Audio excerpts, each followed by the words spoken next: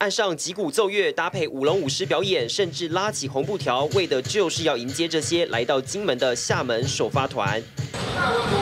回违五年，二十号彩线团前脚才刚走，二十二号首发团后脚就来到金门。经过移民署确认身份、检查行李后，就正式进到金门。一早，金门县府官员也抵达水头码头迎接。他们这次来多少人啊？不过一行人低调不受访，在前几天十八号彩线团抵达时，金门县政府就已经预告二十二号会再有首发团。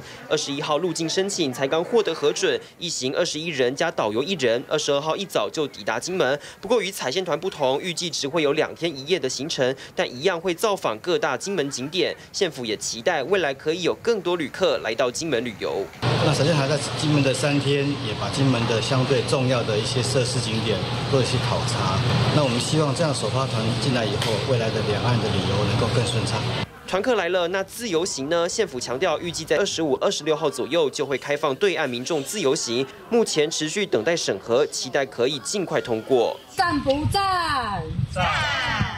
随着金门撞船事件在七月底两岸协商解决并告一段落后，大陆文旅部在上个月三十号宣布恢复福建居民赴金门旅游，也促成首发团抵金。这回金门回违五年，再有厦门彩线团及首发团前后来到金门，县府也期待透过这次开放陆客前来观光，能够对金门旅游注入活水。特别新闻徐一文、杨琪金门采访报道。